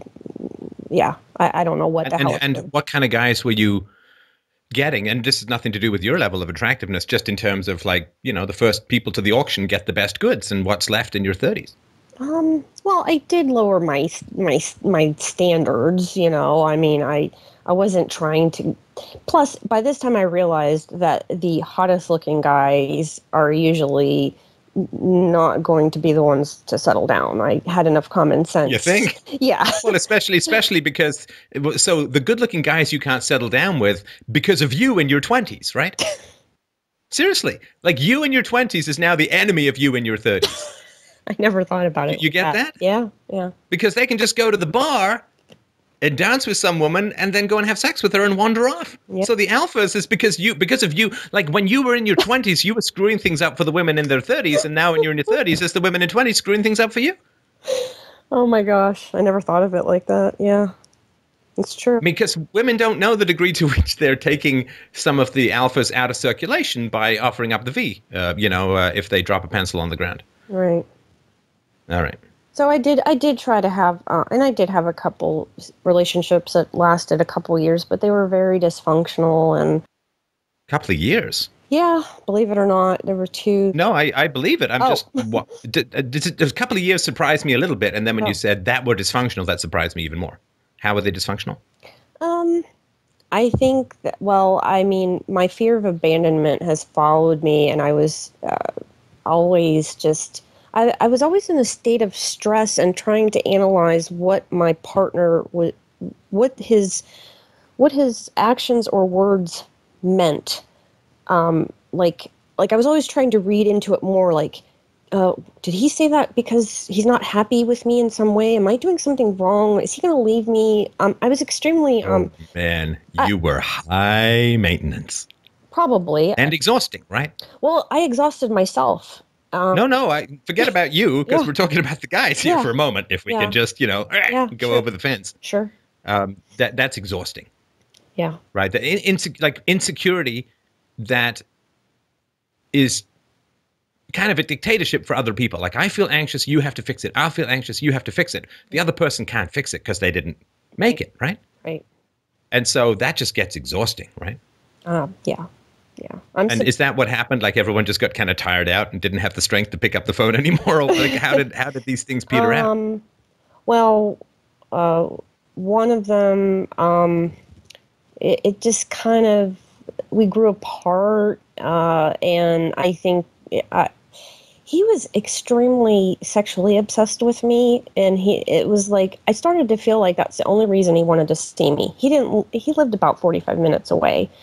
And I just felt like that was the only reason he came over to see me, and I and I think Was re- to have sex. yeah, and I think the re- So you're exactly back to where you were as a teenager. yeah, except well, I, I have a monog- monogamous guy, but but No, but as a teenager, you're like, okay, I, I, I gotta have sex with him, otherwise he won't be interested in me. But now I'm afraid he's only interested in me because of the sex. yes, and I started to feel a lot of resentment over it, and Sure. and uh, Yeah, if if you have sex early, you don't have sex later.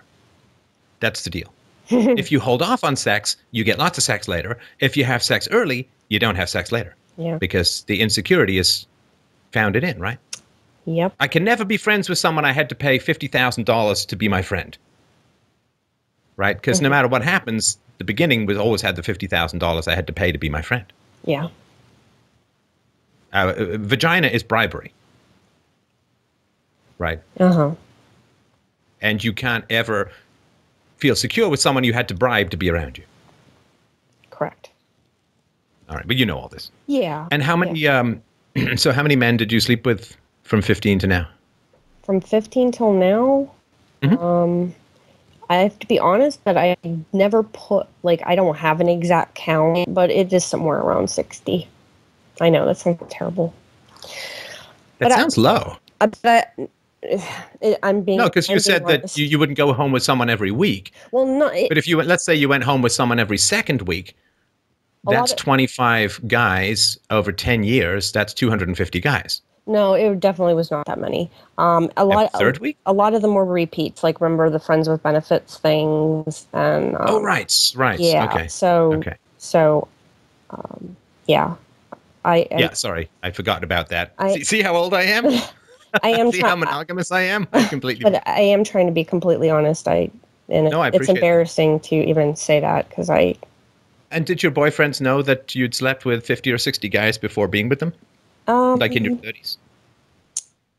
I'm sure we had those conversations eventually. I don't think I ever admitted the true number to them. I, I don't think I could. I would. I was too afraid that. Oh well, you know, she's a she's a slut. You know, you don't. What do you think that you were? I think I acted promiscuous. I, I think that I, but uh, of course I was I was picky. Um, but uh, I, Well, I hate to not, use the not word. that picky. 60 is not that picky. I hate. I, I just hate to use the word slut. I, I don't. I, I don't because Okay, what number for you would be a slut? Mm, probably. Oh God. 61? No. I probably. oh, I don't know. I don't know if I can put a number on it. Um, And I'm I'm curious because I think that we can all accept that there is such a thing as a slut, and that's not particular to men or women. Although again, I think it's more damaging for women. But um, I'm just curious what the number would be. I I guess maybe over a hundred in a lifetime. I don't know. Maybe I'm being. Maybe I'm not being hard enough on myself. I just. I feel like I've admitted what I've done wrong and I've paid my dues, and I don't want to. I don't want to damage my my psyche anymore and labeling labeling myself that. Oh, and I'm not saying you should. I was just Okay. curious. I, I'm not. I, I don't know what the answer is. Okay. Um, so you had a couple of boyfriends in your 30s, and Right. did they each last a couple of years, or was it? Um, and w- were they older or about the same age? Uh, five years older, both. Um, the two longer term ones were five years older than me. Um, there was one shorter shorter one that was younger than me, but um, And these were guys who themselves didn't want to have kids, right? correct. Right. Okay, so they would be willing to date you because they're older, whereas the younger guys probably are looking for guys uh, for for women their own age or younger, right? Yeah, yeah. Okay, okay. And when did you last have uh, a relationship? Um, about five years ago. I've, And since then, you haven't uh, tried. Is that right? no, I've given up on relationships. I am. I don't have any interest anymore. I've gotten to this comfortable level of being alone. I feel like, you know, if I, even if I put myself out there, um, I don't have enough to give, um, and I don't. I, I don't want to feel that scary feeling of, well, you know, the games you have to play, and Well, you don't have to play, but the games Well- you choose to play. Well, I, I think it would be games in my own mind. You know, it's like, okay, the guy texts me, and when should I text back, or should I call him, or you know, I just want to be myself, and I feel like I can't be myself. You know, I, Right. the technology has changed things. So, What do you mean? well, with you know, it's with there wasn't texting, you know, really back when I was, you know, in my twenties. There wasn't Facebook. It, it like adds a whole nother level of paranoia to the whole thing. Of What do you mean? And again, I'm I'm asking because I've never dated in the digital age, so to speak. I mean, there was email when I was around, but um, I guess but it was delivered by carrier pigeons. But sorry, go ahead. um, I think there's more opportunities for men to cheat. It's easier. They can hide it easier. Um, so mu that you know, I'd be more insecure in that regard. Um, and and texting is I, I- I hate texting personally. I like to talk on the phone, but a lot of guys, even my age, are not into that. They'd rather just text everything. Um, and and to be perfectly honest with you, I and I don't know how much of this uh, of this is physical, how much is emotional. I I just really have lost interest in men. And Have you lost interest in sex or men as a whole? both. Both. Well, and do you think that's partly due to the sort of physical tiredness that you feel and so on? I'm sure that is a major part of it. Um, and it could be hormonal. You know, of course, your hom- hormones are going to dip as you get older. Um, but even even if it wasn't for that, I just feel like I don't have the that that mental toughness to to try to to be in a relationship now. I feel like I've just been broken too many times. Been broken. And I'm, I'm, obviously really, really sorry to hear that phrase, but been broken. Well, been I mean, I, I I've done it to myself. I, I mean, a lot of it I've done it done to myself, and I admit it. I just Did anyone, during the course of your life, did anyone say to you, this isn't going to go well for you? No. Like this, these choices that, you, yeah. And this is, this is the frustrating thing that I, that, that I have around this stuff that, that you're kind of flying blind in a lot of ways, right? yeah, I mean, every movie that I watch, the men and women meet and go to bed. mm-hmm. Right? I watch some. I, I do this just for sort of cultural research, but I watched that movie with I think Kate Winslet and um, oh god, and these uh, Jude Law and you know and and yeah, they, they they they meet and they have sex. It's the same thing in Woody Allen films. Well, meet, have sex, meet, have sex, meet, have Yeah. sex. It's just uh, there's no courtship. There's no getting to know each other. There's no other family members, you know, that you're ever going to have to deal with. No mother-in-laws, no cultural differences, no nothing, right? right, right, And um, so there's generally there's this programming for meat sex, meat sex, meat sex, meat sex, yeah, Yeah. M E A T sex, M E A T sex, and there's not um, not a lot of restraint in any of that. And who's saying to people you're smashing yourself up? On the rocks of Cox, right? I mean, you're just like a ship, right? You got away with words. Yeah. um, yeah. Yeah, nobody ever And- told me to. s- No, nobody says it, right? Mm-mm. Nobody says it. No. And and anytime you try to say it, anytime you try to say, I mean, I, I mentioned this the other day in a show. Rupert Everett, this actor, this gay actor, he said uh, I had too much sex when I was uh, younger. I just slept around. He was he's a fantastically good-looking guy. Uh, he's in, uh, I think, An Ideal Husband by Oscar Wilde is a good film to see him in. Who is he? What's his name? Uh, Rupert Everett. Okay. Um, if you ever saw The Runaway Bride with Julia Roberts, Yeah. he played the friend. okay, I know who you're talking about. Yeah. And he said, uh, I had too much sex when I was younger with too many faceless people, and it just smashed me up. So this isn't a a, a, a phenomenon just for that happens to women. Oh, no, I, I had, um, I mean, I knew gay people when I was younger who had sex, introduced themselves, and then went on a date later. Oh, okay. and um, yeah, a- antidepressants, uh, the, the whole thing. I mean, this idea that it's like the obesity of the genitals, you know, like salty, fatty, sweet food tastes good, but it's terrible for you. In moderation, great. right. You know, if you want to have a lifetime of eating bad food, really moderate how much bad food you eat so you can enjoy it longer. Right. And I'm not trying to trying to say that sex is bad food. I mean, Yeah. it's not. It's not a guilty pleasure. Sex is a wonderful part of life, and why we're all here, and Mm-hmm. it's the only thing that makes up for being taxed as an adult. okay, I get income tax and sex. Well, okay, I'll still fight the income tax, but I'll take the sex.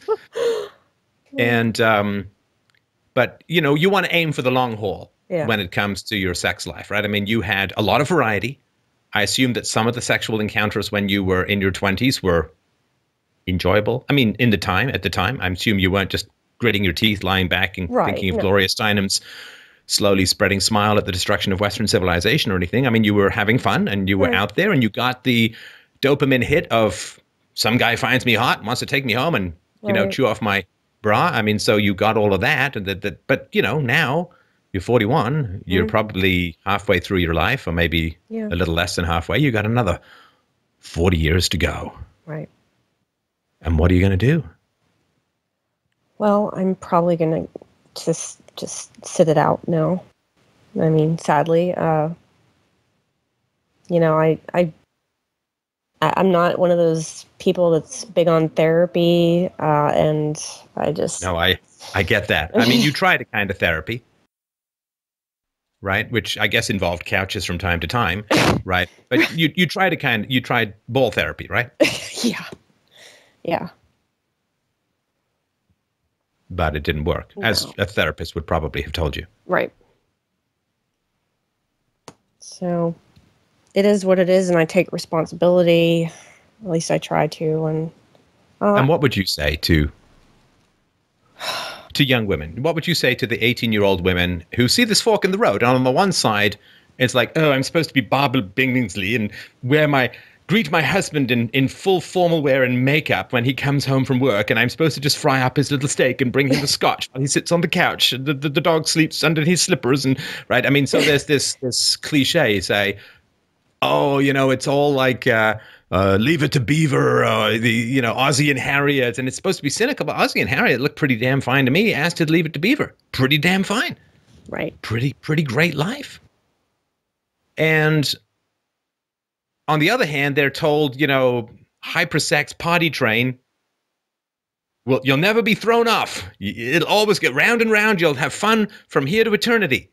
Don't worry about your eggs. Kids are for squares, you know, like go Right. out and have fun, you know, work those cocks like you're at Vegas. Ka-ching, ka-ching, ka-ching, right? And until you get the five lemons called your last five decades. yeah. But what would you say to women who are looking down your road, looking down other roads? What would you like them to hear? I would say to anyone that's listening to this, uh, take my life as a cautionary tale that this is not where you want to end up when you're 41.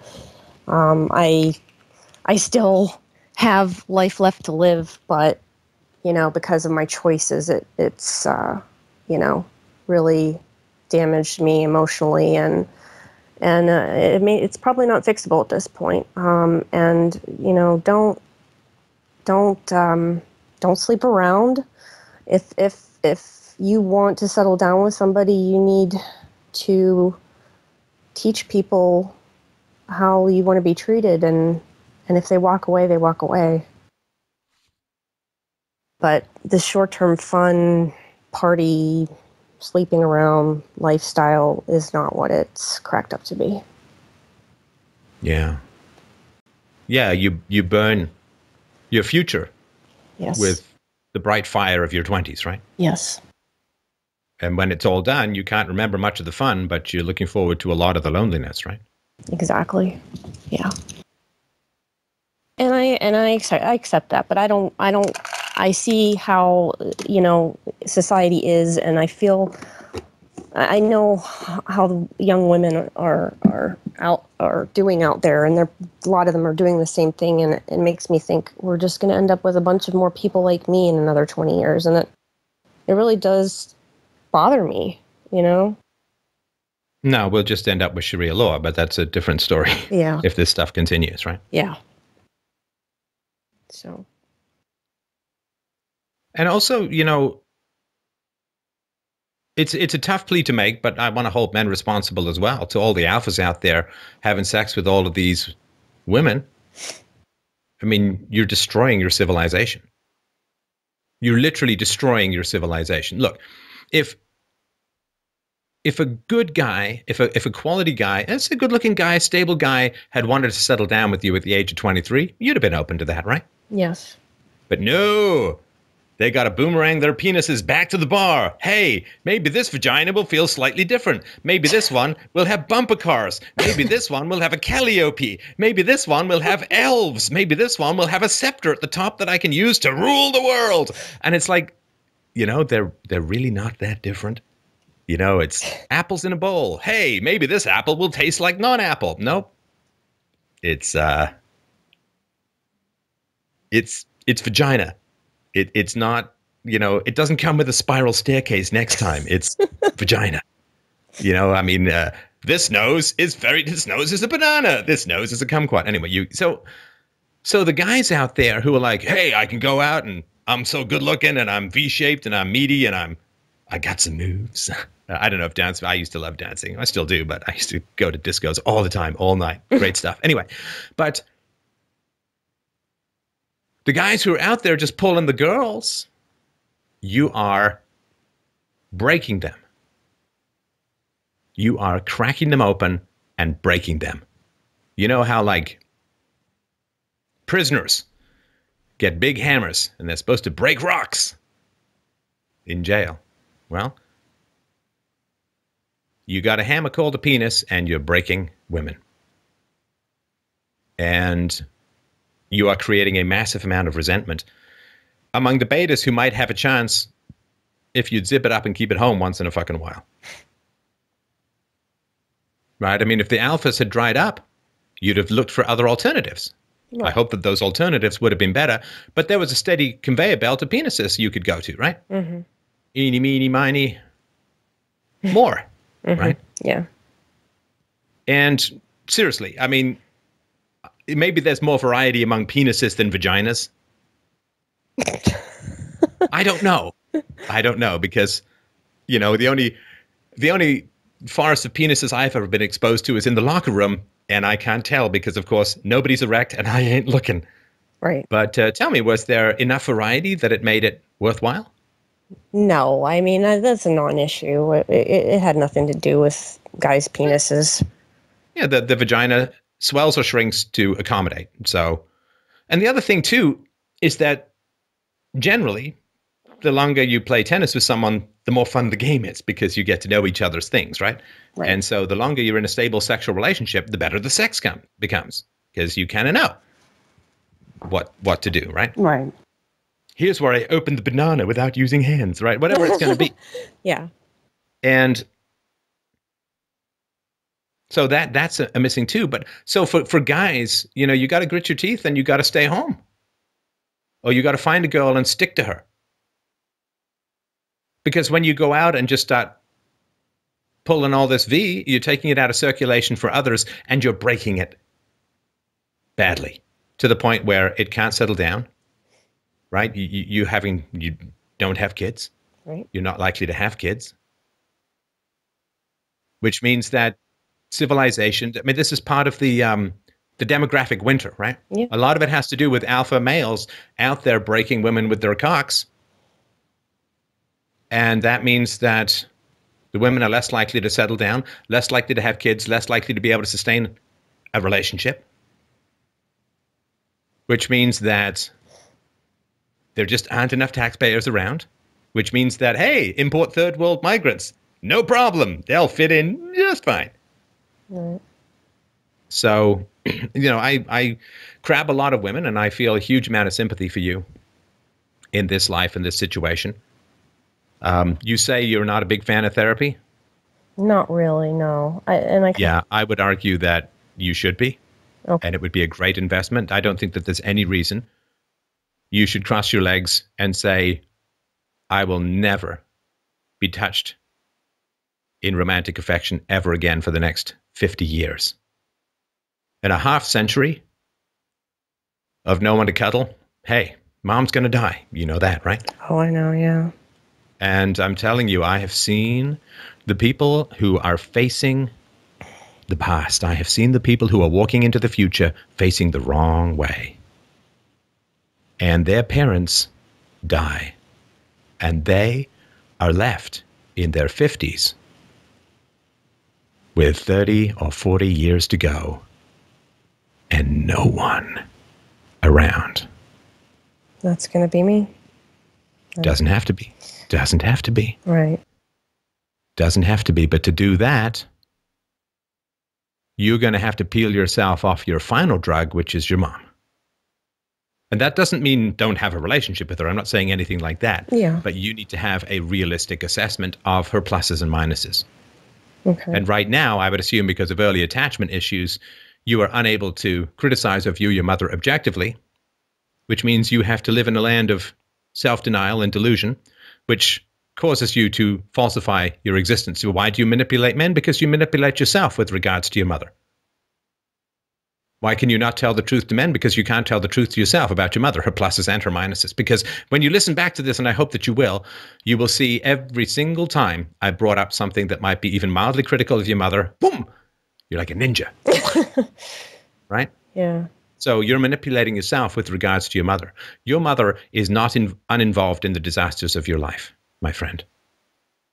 I'm not saying she's 150% responsible, but she's not uninvolved. She made choices, and she kind of set you adrift in a sea of semen without telling you that goes over a waterfall onto rocks. And there are things to criticize. And as someone who takes criticism and values it, she'll survive and you'll survive. And if you have a direct and honest relationship with your mother, you won't feel as much of an impulse to falsify your existence to others and you will be able to sustain a relationship. You can't sustain a relationship if it's based on manipulation and falsehood because it's tiring. Yes. It's tiring. It's exhausting. Mm-hmm. And when you get exhausted and you feel unconnected, you have compulsive sex to overcome the exhaustion and pretend you have intimacy. And that wears away at any foundation of the relationship until everybody just gives up. You know, if somebody tells you to play tennis with an anvil, you might hold it around for a while, but eventually you're just going to wander off. Too tiring. Right. We can never be more honest with someone than we are with ourselves. We can never be more honest with someone than we are with regards to our parents. And if you cannot look at clearly at the pluses and minuses of your mother and your father, but mostly your mother because she chose your father, but your father is important in this as well. Mm-hmm.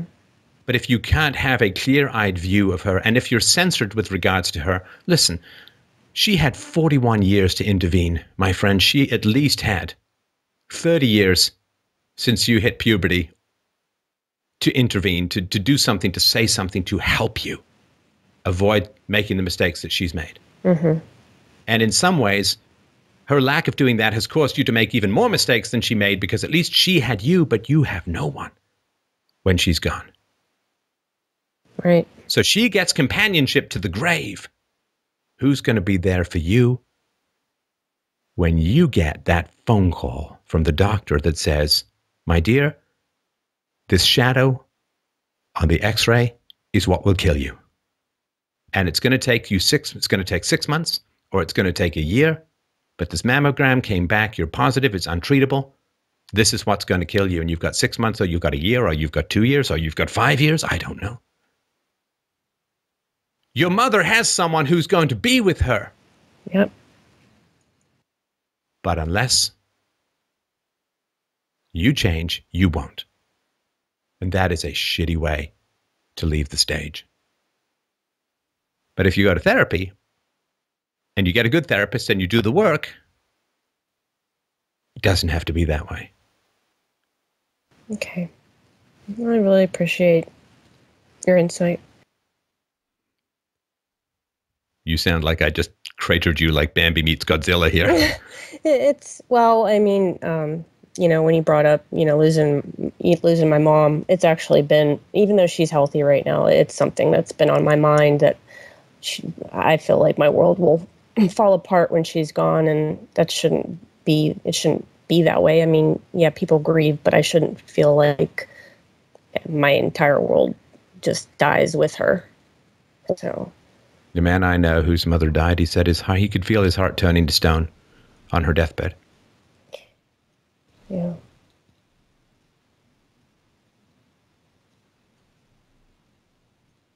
So yeah, I would uh, have. I mean, I'd get some therapy, and I'd you know, it's not like you're spending money on kids, right? So I'd get some therapy and I'd talk to my mom, and these are things I would do. I mean, okay. I hope that you'll mull it over, and uh, I really, really appreciate the call, and I really appreciate you putting yourself forward as an example. That takes a lot of uh, of courage, and I appreciate that. Thank you, Stefan. Appreciate it. Thank you very much. Bye bye. Take care.